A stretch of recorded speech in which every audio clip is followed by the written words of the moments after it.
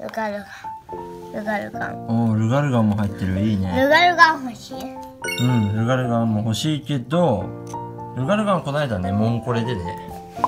ゲットした。あるし。パパはハッサムかな個人的には。どれが欲しいですか？焦げたホゲータ好きだね。じゃあ2つね。モンスタ可愛いーからポケモンゲットコレクションズ。どっちからあげる？こっち？うんマスターボール。つつるつる。あおおおやって言ってたやつ出た。やったじゃんパパ。やった。えガム。ガム。前これ飴だったんだよね。うポケモンゲットコレクションズ飴ついてた。おおストライクの進化系かっこいいじゃん。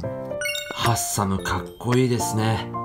ストライクにメタルコートを持たせて通信交換にて進化しますね。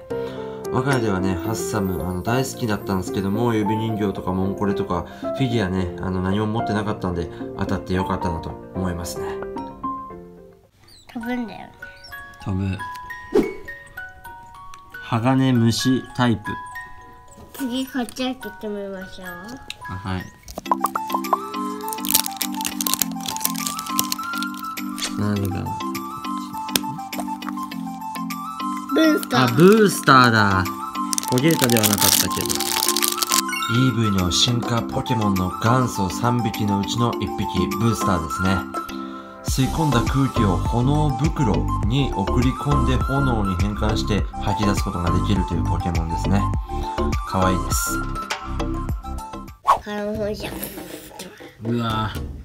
火炎放射はもう効果抜群だよ。うん。虫と鋼だからもう一発じゃない。ハッサム戦闘不能。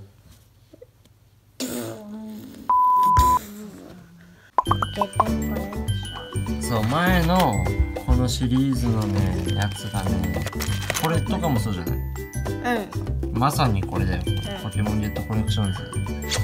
これのやつで。うんあとそれはトロワークもあったよね。でもこのソーナンスとかサーナイトもねゲットコレクションズ。うん。前当たったやつねねちっちゃいフィギュア。かわいいじゃん。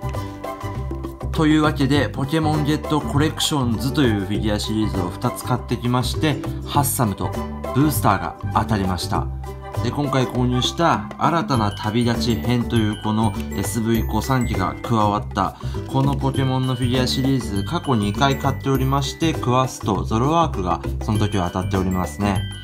で過去ラインナップとしてこの横にいるシェイミー、パチリス、ソーナンス、サーナイトこの4体もゲットコレクションズのフィギュアになります。我が家で以前から収集しているモンスターコレクションのポケモンフィギュアと比べると、えー一回り小さい可愛いフィギュアになってますね。食玩で現在はガム付きでスーパーとかでも売られております、まあ、今後もですねあのもし出会ったら購入するかもしれません。ホゲータがねうちの子供が欲しいということであ前もホゲータ狙いで買ったんですけどもねなかなか当たらずということで、まあ、このシリーズも今後新しいのも出ていくと思いますんでラインナップによってはあ結構買っちゃうかなという感じですねえそんな感じで今回の動画はこれで終わりです。最後までご視聴ありがとうございました。バイバイ。